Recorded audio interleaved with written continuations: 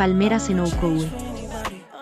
La palma chilena, especie cuyo nombre científico es Jubaea chilensis, pertenece a la familia de las palmáceas, es la palma más austral del mundo y es endémica, nativa, de Chile. Se distribuye en forma natural entre La Serena y Talca, aproximadamente, encontrándose algunos ejemplares hasta la zona de Arauco. Se reconoce porque es la única palmera de tronco liso, además presenta un angostamiento a los 8 a 10 metros de altura, que ocurre al llegar a la madurez.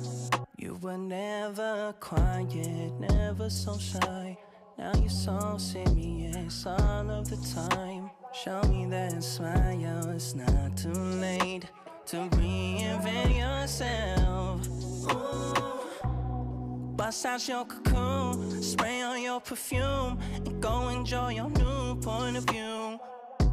There's no way you can lose, the world works for you. Now that you're